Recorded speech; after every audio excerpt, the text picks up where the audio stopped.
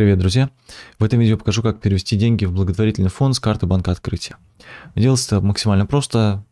Заходим в приложение банк открытия. Справа от карты нажимаем кнопочку «Оплатить».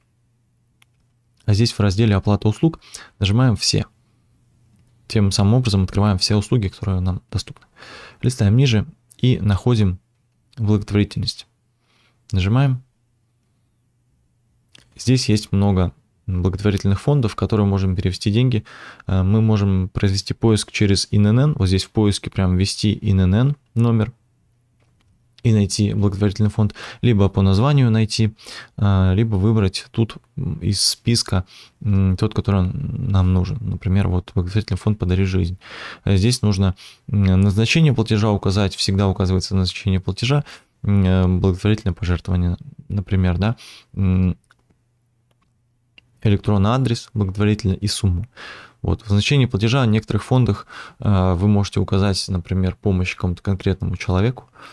Э, это уже смотрите на сайтах благотворительных фондов. Они обычно указывают, что указать в назначении платежа для того, чтобы помочь э, какому-то конкретному человеку в фонде. Все, не нажимайте «Оплатить», происходит оплата. Ничего сложного здесь нет. Спасибо за просмотр. Надеюсь, что данное видео было для вас полезным.